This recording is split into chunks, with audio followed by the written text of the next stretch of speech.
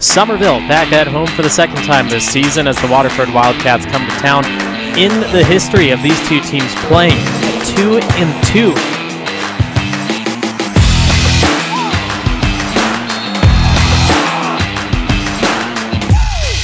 Failed snap. Martinez goes down on it, so do the Bears. Extra point attempt is deflected, a huge block. Evan Roberson knocking down the extra point from the Wildcats. Leveros escapes the defense. Touchdown, Summerville. Snap, another low one. Larson's going to take it himself. He has men to get by. Larson cuts the corner, finds the edge. Luke Larson on the two point conversion. Leveros to Lopez. He spins out of trouble. He cuts the edge one on one, pushing the man down, flipping head over heels.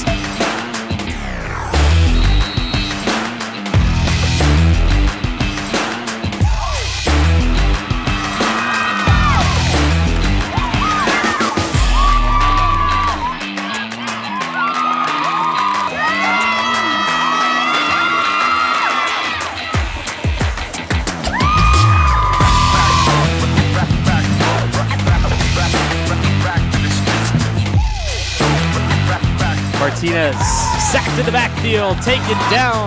A loss of 13 from number 13. Leveros will roll.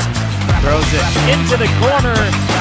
Receive end zone. Touchdown Summerville. Owen Herrera